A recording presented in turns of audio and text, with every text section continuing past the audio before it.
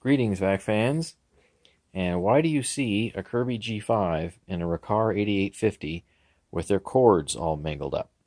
That's because both of these need some bearings. And I got a 10 pack of these nifty little bearings here. Let's see if I can get the camera to focus. Come on. Focus. You did it a minute ago. There we go. Guess I got to force it. 6200. This is a typical bearing used in these things. Uh, worked with a few of these. There's both sides. And I'm going to, of course, make a video of repacking and or replacing these bearings. But in the meantime, I want to go over my particle counter been a lot of discussion of this handy dandy little device here. This is an HT 9600 particle counter. And I even have the manual for it. I'm going to show you fairly quickly. But seems to be a lot of misconceptions, a lot of misunderstanding about this thing. Because normally you see different types of particle counters on there, namely like say an IQ Air with a single measurement channel. So, right here, I've turned this on, and this measures three different sizes of particles at once 0.3 micrometers, 2.5 micrometers, 10 micrometers. And the particle count right now is all zeros because I haven't pushed the run button. You have a sensor here, which is actually right here, that does temperature and humidity and I can change it to Celsius, but since I'm in the United States and we're still on Fahrenheit, I like, well, just looking at Fahrenheit. That's what I'm used to. Uh, you've got a time and date stamp, and this unit uh, runs on battery only. That's what I wanted for this unit. And see, I've got like a two-thirds uh, charge of the battery in there. And you have this scale that starts off with green, and it, the indicator for this scale is a vertical white bar. And you can see that's all the way over to the left. Well, I haven't run anything yet, so it's not going to move. But as you go over to the right with this vertical white bar, uh, the particle count gets higher and higher, and the particle air quality gets worse and worse, so on and so forth. Let's see, you've got a power button, you've got a run button, enter, shift, up, down, back. There are some of the certifications recycle it the right way, so on and so forth. Let's look at the top of this. Mentioned before, temperature and humidity.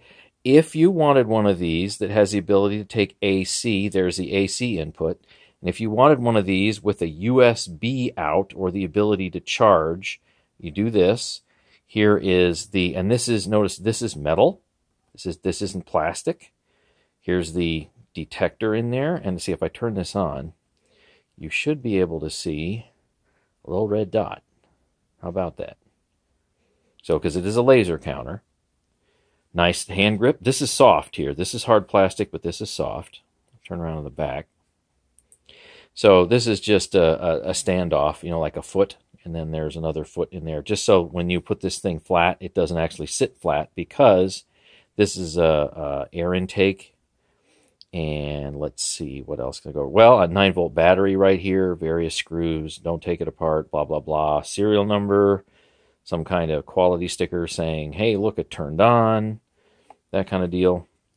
All right, so uh, this thing actually can measure several different things, several different ways. So we're going to do, do a particulate count, or at least part of a particulate count test, where it's going to measure these three sizes of particles all at the same time. And then it's going to give you a count. All these zeros here are going to change to something else.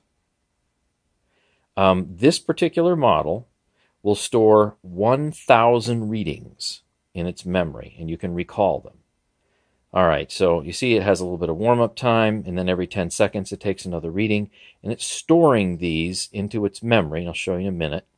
And see, this is piece per liter, so this particular sensor right here, uh, with its little vacuum that runs with the battery, does uh, liter per minute. So this picked up 12,146 particles in uh, in a one liter area volume, uh, and this did um, 50 particles of two and a half micrometer in size, and then 10 really large ones. Those are particles so large you can definitely see like dust specks, and you've seen them in some of my videos. Uh, there were none of those.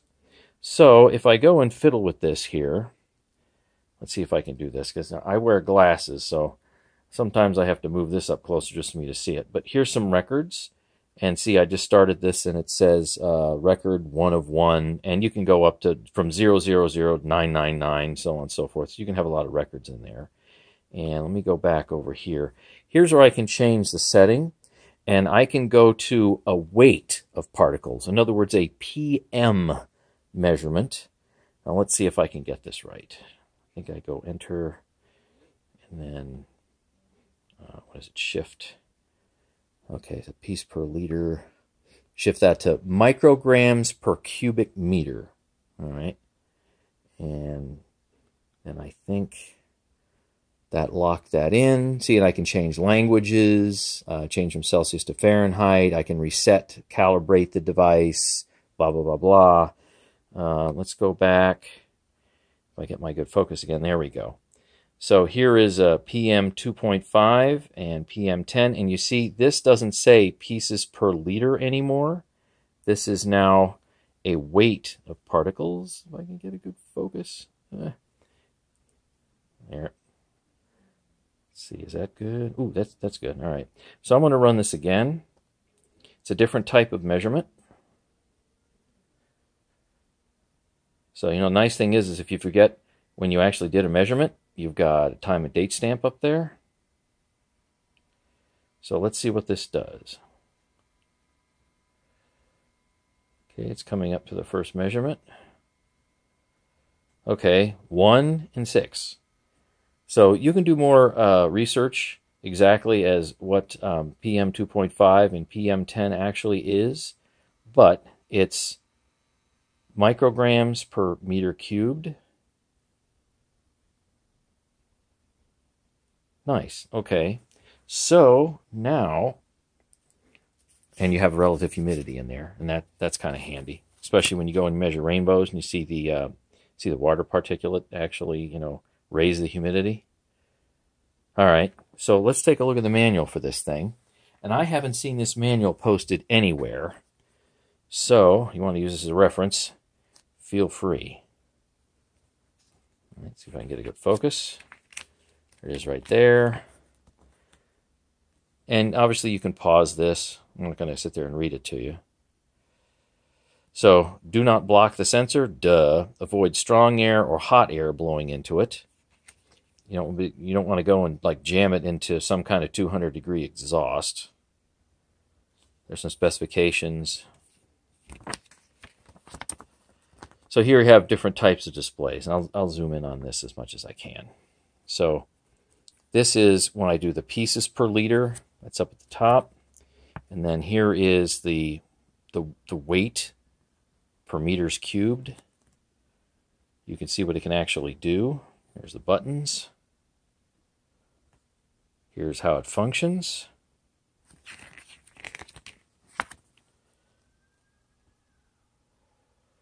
So if you decide that you're interested in one of these, here's the manual. I tried to find this manual before I bought this. I was not able to find it anywhere. So that's why I'm putting this on here now. And here are the new air quality standards. PM 2.5 standard. And vast majority of the time, I'm always between that 0 35. Of course, this is black and white, so unfortunately it doesn't show up with all the colors, but that's what it corresponds to. This bottom one here is red. This all the one uh, up here is uh, green, obviously, and everything in between is everything in between. You can get one with a rechargeable battery if that's what you want. AC adapter, um, you can even charge it through USB. And here's all the specifications. So I really like this meter. It's priced wonderfully reasonably. Fantastic. It's accurate within reason. Typical precision right there. Operating conditions. Stored data up to 999 sets. Temperature range. Here's the last page. It sucks down batteries. It really does. So I get uh, the professional grade uh, Duracells, and uh, I can take probably maybe somewhere between like 100 and 150 measurements before I have to replace the battery. And I pay a little over a dollar for the batteries. So that's, that's good enough for me. Like I said, there are multiple different versions of this you can get. But I tell you, one of the best things you want to do with your particle meter, okay, if you get one, is you want to keep it clean. So this is just a sample right here, but when you're not using it, and you're going to be in a dirty environment especially, put it like, I don't know, in, in a bag, in a box, something like that. You know, keep it clean. Don't just leave it out, especially if you're in an environment that's, you know, three, four, five hundred thousand particles or something. This is a sensitive laser device, and I want to keep it for a long time and have it be accurate. So I don't want to get a bunch of stuff junked up in there. And by the way, since this is metal, uh, it, you've seen that it's been somewhat, in some cases, a little awkward to actually use this, especially at an angle. Um, you could, uh, one of two ways. Either get a tube that fits the outer diameter of this, because, you know, this has some little ribs on it there, and, you know, you could have a very large, uh, long, or, or wide opening and go on the outside. Or I suppose you could have something um, very narrow that fits on the inner diameter of this, and you could uh, get some kind of a you know ice cream cone type of a, a you know, plunger on the other end uh, if you needed to you know measure something at some distance away. But this has worked out um, very well. So it's been very very revealing. Um, I have uh, measured all kinds of particles, obviously, but I've also had a chance to measure outside air. And it's really nice to find out what your just plain outside air is, let alone what, you know, a vacuum bag can actually do. So this is an HT9600. It's branded many different uh, names uh, in the United States and maybe other countries if you wanted something like this. But I got the um, just like generic no brand or unbranded version for $130 US a couple of months ago. And this has been uh, a really great tool, especially uh, for relative measurements. So at some point in time, uh, fairly soon, I have a couple more videos to post, and I'm going to start doing some more um, repair videos. And you see the two machines that I need to do next. So thanks for watching. Happy vacuuming.